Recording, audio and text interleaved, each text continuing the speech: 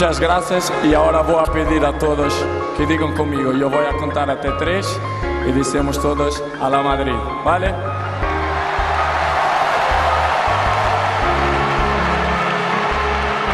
Vamos.